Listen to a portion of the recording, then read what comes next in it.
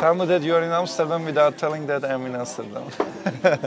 bikes are very famous here. 60,000 bikes are stolen. People are protesting. We walk more than 7 kilometers, thousands of steps.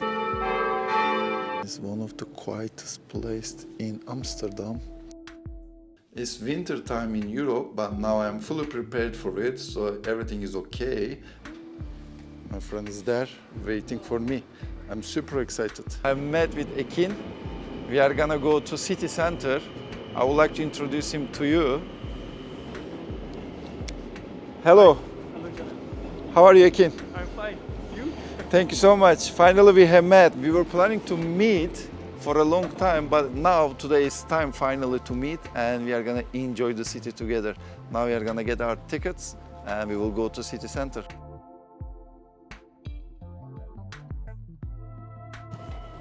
Yeah, as you can see, bikes are very famous here. In that part of Europe, cycling is one of the most important transportation tool. You can see hundreds of them here. People are coming here, parking their bikes and continue with metro.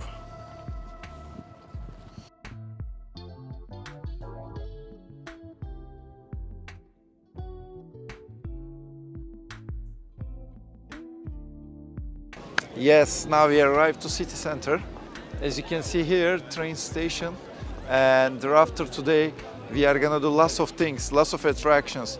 We are gonna join a canal cruise, which is there approximately, just you know, around 4 p.m. we will go there. And city center towards that direction. So we are gonna go and see many places and then the north part of the city is just behind there. We are gonna take a ship to cruise cross the river and then we are gonna go to a building where we can see the Amsterdam 360 view. All right, I'm really excited. Let's get started.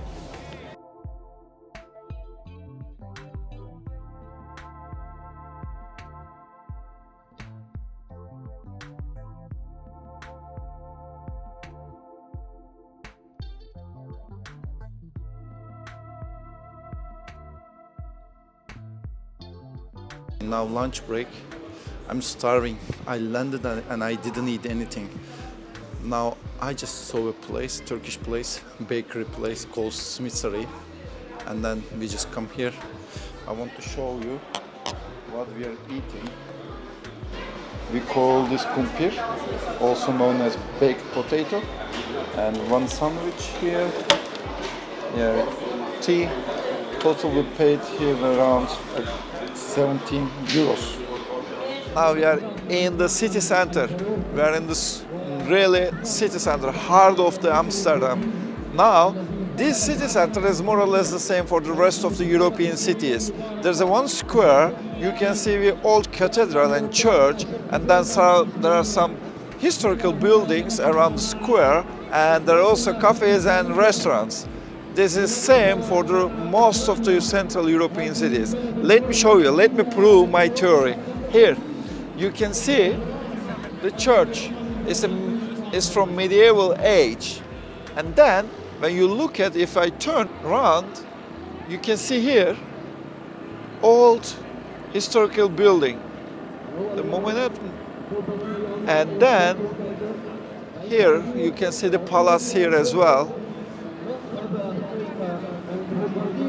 Now, what we are gonna do is we are gonna walk on the streets of Amsterdam. I really enjoy cold, chilled, cool weather right now. And we will see some historical buildings. I will take some shots. Now I just came a place called Begijnhof. This is a religious community from 14th century all the ladies, religious women uh, were living here actually. And it's one of the quietest places in Amsterdam. That's what I've been told. And you shouldn't talk loudly here. It's very peaceful. Actually, people are still living here, as you can see, for residents only. I just thought that it's a museum or something like this, but there are residents, people are living there.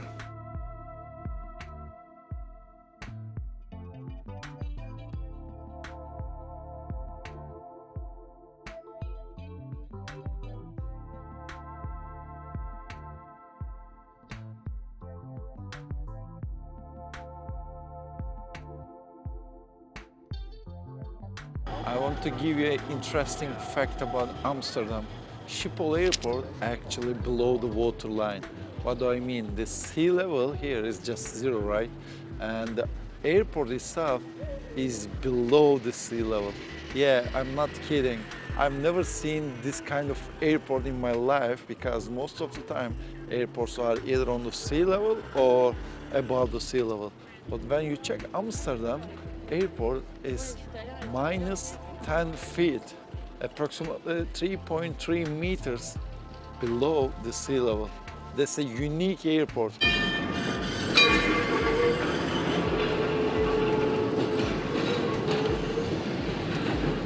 When I travel the cities, I always say either one day or a little less than one day. When you start traveling and when you start seeing museums, it takes two or three hours. That's why, you know, you cannot see other things in the city.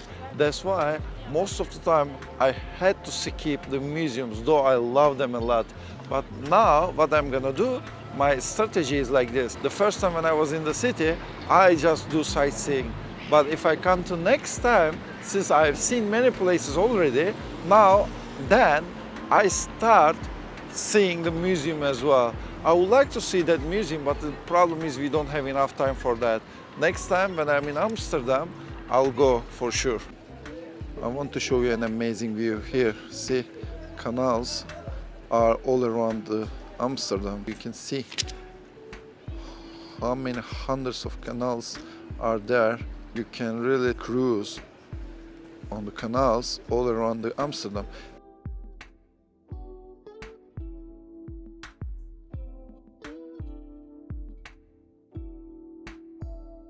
Now the first time in my life I'm gonna make the canal cruise.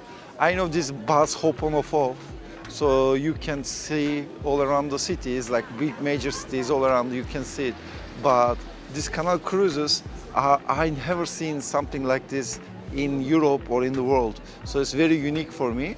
Now we're gonna have Amsterdam tour. It's gonna take almost one hour and we have been walking for almost 75 minutes. We walked more than seven kilometers, thousands of steps. Oh,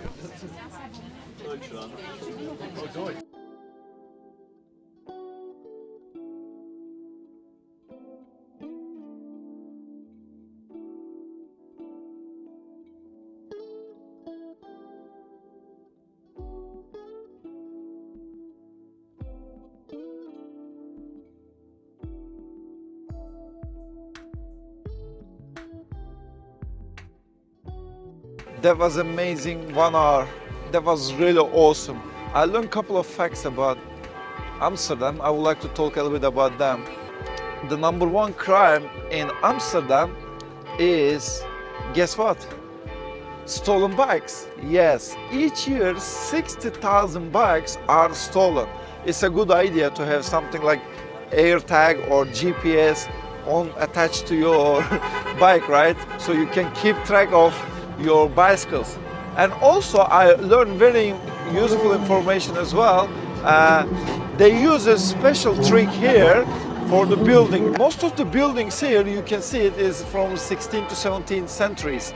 Because when you're making this boat tour, cruising, you literally feel like, you know, you are not in 20, 2000s. You feel like you're on this, in the 16th century or 17th century. That was amazing. And most of the buildings are designed in a way that the upper levels windows are small so it gives you an illusion of building is bigger and taller than actual size.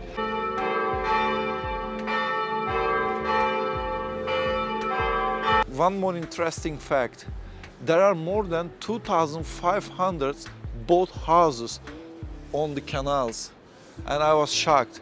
I just thought that they are just boat, but actually they are houses. They have full utilities. People are residing inside and you can even look for them. Airbnb it should be a unique experience. Let me show you something. Over there, there is one modern one. Now, it looks like not boat, but proper house. But when you look at here, there's even number, you know, 52A.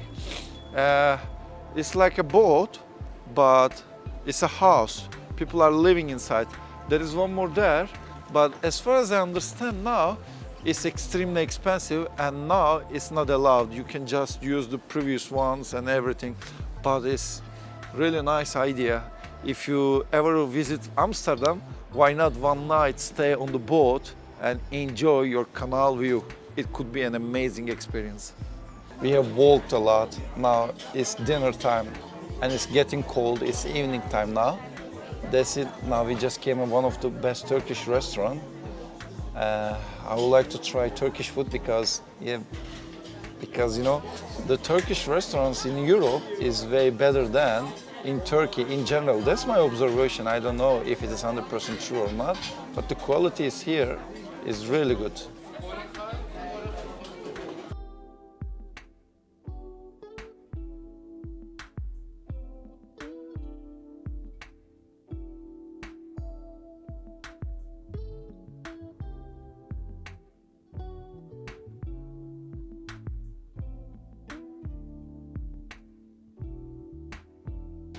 Now it's time for me grocery. Whenever I fly to Europe, I always do my groceries and I'll take some stuff with me to Dubai because there are some certain stuff that I cannot find in Dubai. Plus, if even if they are there, they're extremely expensive.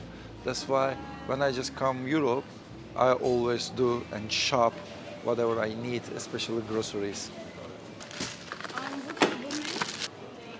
I hope I'm gonna fit everything inside, but I don't think so. After the shopping, we went to the hotel room to get some rest because we were extremely tired. And after a couple of hours, we were ready for the second phase of the tour, which is nightlife of the Amsterdam. Yes, guys, I would like to say something about Amsterdam. Normally, when you travel around Europe or US, when you go to downtown of the major cities, after some time, the squares and everywhere is empty. You don't see any people.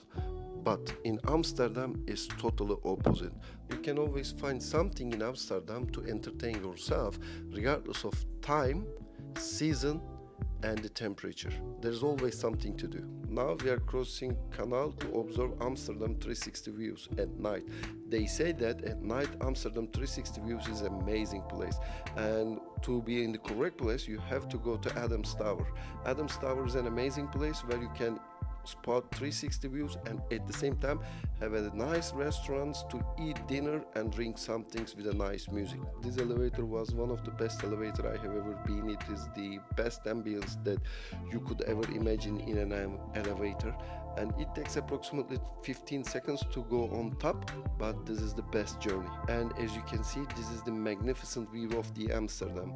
City is full of lights bright and is glowing. Amazing Unfortunately, every good thing has to end. After enjoying one full day in Amsterdam, now it's time to go back to hotel and we take the same ferry to cross the canal and thereafter as you can see lots of people are still commuting around the city. Thank you very much for this video to Ekin without him that day was not possible for me. As usual guys before going please don't forget to like my videos subscribe my channel and hit the bell button to get the notifications for the next videos. Alright guys see you in another travel vlog. Bye bye